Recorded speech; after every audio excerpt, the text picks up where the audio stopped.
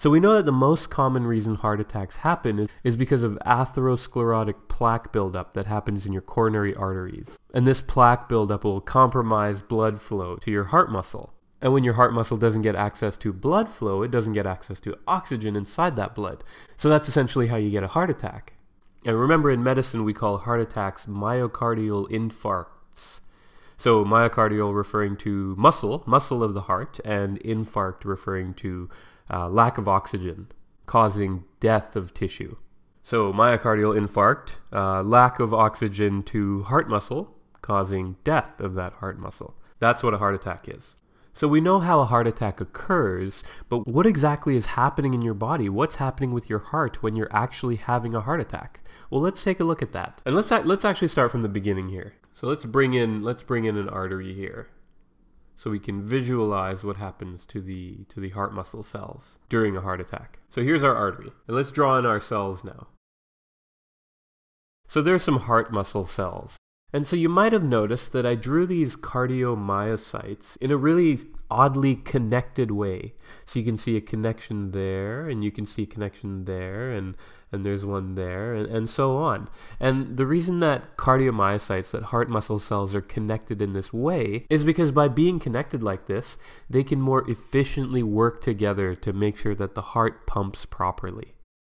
So what exactly is happening in, in a heart attack? So let's say we're looking at this blockage right here. And then let's say that the, the piece of artery that we've drawn is this piece of artery right here.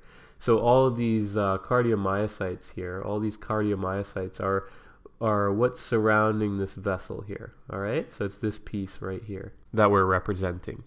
So you got this plaque in your artery upstream, and it's not ruptured, it's just sitting there. It's not really doing too much right now. But then let's say you start playing soccer, right? So you start running around chasing after the ball, and and when you're running around, blood is being forced to sort of flow faster and faster through your coronary arteries, right? Because your your heart's pumping faster.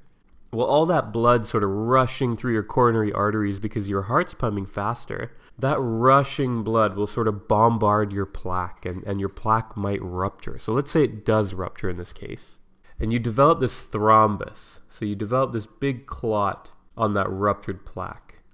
Well, in this case, what do you think is going to happen to the downstream part of that artery? It's not going to get that much blood, right? Because this thrombus is blocking off the blood flow. So whereas before, you had lots of blood flowing through your coronary artery, and therefore your, your cardiomyocytes were getting lots of oxygen out of that blood. Now, because of that huge clot that's in the way, there's way less blood flow in that coronary artery, right? Blood flow to that heart muscle there starts to slow down. So now all of a sudden, these heart muscle cells aren't really getting all the oxygen they need, right? So now they start to become oxygen starved. They start to get really hungry for oxygen. And when they get really hungry for oxygen, they start to send pain signals to the brain. And these pain signals are basically telling the brain, brain, we've got like no oxygen down here. You need to do something about this now. And actually, this this pain can feel a bit like indigestion because you you you're not really used to pain like this, so your brain kind of gets confused and thinks it's it's maybe an indigestion pain. So you might actually feel the pain just below your heart, right above your stomach. So this is actually the start of a heart attack. So let's look at our clot now. Well, it's actually still growing, and it's now blocking like two thirds of the artery. So your pain will start to get worse. And some people might start to get pain in their arms, and, and mostly we see it in the left arm. And the reason you can get pain in your arms in the first place with a heart attack is because some of the nerves that are connected to the heart have the same origin as some of the ones that are connected to your arm. So since your brain really isn't used to feeling pain from your heart, it sort of gets confused when it does get signals from your heart. And in that confusion, it thinks the pain is coming from your arms. And that's called referred pain. So it's, it's kind of a similar mechanism to the indigestion feeling. And by the same referred pain mechanism, some people even get pain radiating up to their jaw. And so at this point, the brain is confused, right? I mean, it's overloaded with these increasing pain signals coming from the heart, right? And to add to that, you got all of these cardiomyocytes that are running low on oxygen. And because they're running low on oxygen, the, the nice, normal, coordinated way that your heart beats will be compromised. And your brain doesn't like this. So your brain senses this and, and says, holy crap, I need to do something about this. So your brain triggers this big surge of adrenaline release into your bloodstream. And the adrenaline gets everywhere. So it gets to your heart and it starts affecting your heart, right? And what does adrenaline do? Adrenaline will start to make your heart beat faster. Your heart will start to race. Unfortunately, the adrenaline's not going to be able to do anything about the clot that's built up, which is actually just growing, right? I mean, we've sort of left it alone for a while, but it's actually getting bigger. And by now it's filling up basically the whole artery. It's completely blocking the artery off. So now our cardiomyocytes are in big trouble because now they're barely getting any blood, so they're barely going to get any oxygen. And because they're barely getting any oxygen, they necessarily have to slow down their rate of contraction because having good access to oxygen is really key for, for cardiomyocytes to produce the energy they need to do all the work they have to do. So naturally, if they don't have that oxygen, they can't produce all the energy they need. So they have to slow down. So they start to slow down and then they start to stop beating altogether. So because our patch of cardiomyocytes here have stopped beating, well, the rest of the heart has to compensate. So the rest of the heart starts beating faster to compensate for our dying patch of cardiomyocytes. Now, at this point, things are not looking good for our cardiomyocytes. They actually can't even hold themselves together in one piece anymore. Their membranes actually start to break down and the cells start to rupture.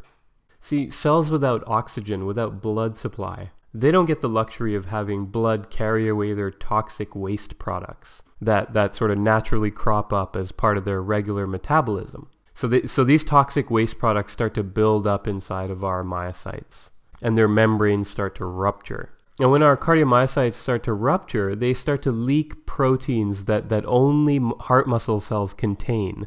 They start to leak these proteins into the bloodstream. These proteins are called troponins. Troponins are a type of structural protein that you only find in heart muscle cells. And so keep that in mind because that'll become important later on when we talk about diagnosing heart attacks. So now our injured heart is really starting to wear itself out and the beat is starting to get a bit weaker and you're starting to get even more effects all over your body. For example, it'll start to become really difficult to breathe because you can actually get some fluid buildup in your lungs. And let me just quickly show you how this happens. So here's your heart and here are your lungs. Now remember, blood goes out from your heart to your lungs to get oxygenated. And then once it gets oxygenated, it sort of comes back to your heart, right? And then it gets pumped out of your heart to the rest of your body. Well, when your heart isn't pumping very well, blood will sort of build up in your heart and then back up into the lungs. And this buildup, this backflow of blood can end up making it really difficult for you to breathe. So you'll often get dyspnea. You'll often get shortness of breath when you have when you're having a heart attack. So you've had your referred pain, you're getting your shortness of breath, your heart is racing. Well, because your heart is not pumping efficiently, not enough blood might be getting to your brain, so you could start to get dizzy and disoriented. So by now it's been about 15 to 18 minutes since you started having your heart attack and now things are getting really really bad.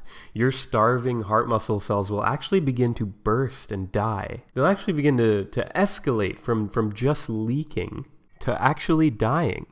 So I'll draw in some dead faces here. But but you know this is really serious. If if you're not treated within about 20 minutes, your heart will get damaged so badly that it won't ever beat normally again. Because at this rate, about 20 minutes after your, your heart attack comes on, you're losing about 500 cardiomyocytes, 500 heart muscle cells per second, per second. And they're not like your, your average skin cell or your, your hair, um, your strand of hair. They can't actually be replaced. So once you lose these cardiomyocytes, that's it. Your heart will not beat normally again. So you really want to limit the amount of cardiomyocyte loss that happens. So that's sort of the physiology behind what's happening in a, in a, in a myocardial infarct. So before we finish up, there's just one more thing I want to show you. So we classify myocardial infarcts into two main groups, and I'll show you those groups. I'll show you how we divide them up.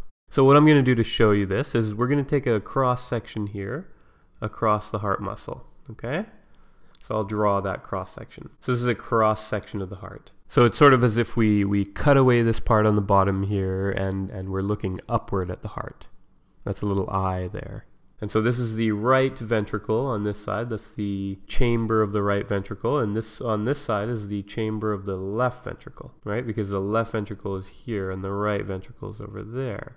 Now let's draw in our blood vessel. So let's say that right here, right? I'll draw a circle because remember we're cutting the left anterior descending artery, this one here. We're cutting that in cross section as well.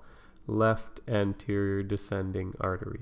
So let's say we block off this left anterior descending. Let's say that, that we've had a heart attack involving that artery. Well, because it, it serves such a huge part of the heart wall, what's going to happen is we're going to knock off a big part of the heart wall. We're going to knock off a huge chunk of it, right? And so this type of infarct is called a full thickness infarct because it involves the entire thickness of the, the thick muscular wall of the heart. So that's called a full thickness infarct or a transmural infarct. And transmural, by the way, just means mural refers to wall, and trans just means sort of crossing. So transmural means it's just crossing the entire wall. That's that's how big the infarct is. Transmural. So that's one type of heart attack. That's one type. And the second kind, let's put it up here, the second kind is called a partial thickness, a partial thickness infarct, or a subendocardial. That's the other word for it, subendocardial infarct. Well, how does that happen? Well, that happens because you'll have these little arteries that come off of the big ones. So, for example, there's there'll be this little one that comes off of the left anterior descending, and it, it will actually penetrate through the heart muscle wall, right? Because the goal of this artery is to supply blood to this little patch here. Okay, so let's say that the supply zone, the, the oxygen supply zone, the blood supply zone for this little penetrating artery is this area here. Well, let's say that you get a clot that develops in this artery here. Then you'll still have a heart attack. You'll still have a myocardial infarct, but it'll be one of a much smaller region right? It won't actually be a full thickness. It won't be a full thickness infarct. It'll just be a partial thickness. So those are the two major types of myocardial infarcts.